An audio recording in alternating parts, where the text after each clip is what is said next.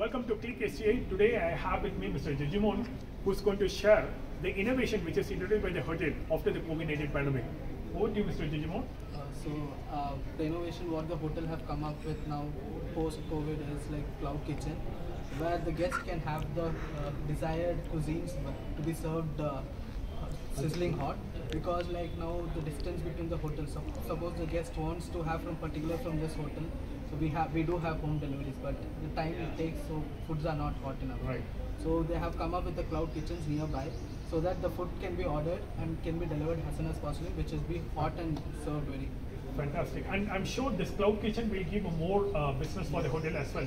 Apart from uh, uh, the food sales which are there in the hotel, the cloud kitchen will fetch in a lot of uh, online sales by delivering the food in the doorsteps of the guests. It's a great innovation. Thank you very much for sharing.